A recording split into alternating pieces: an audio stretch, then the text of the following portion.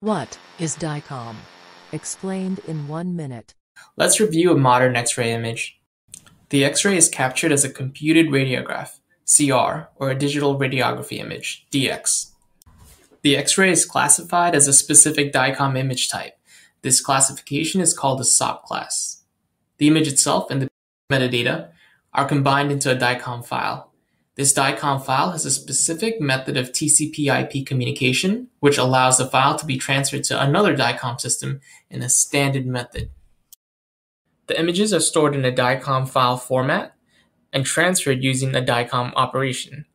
DICOM is both the file type and method of transfer.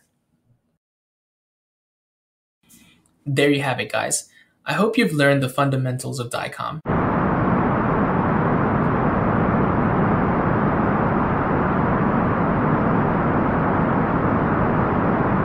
Beek.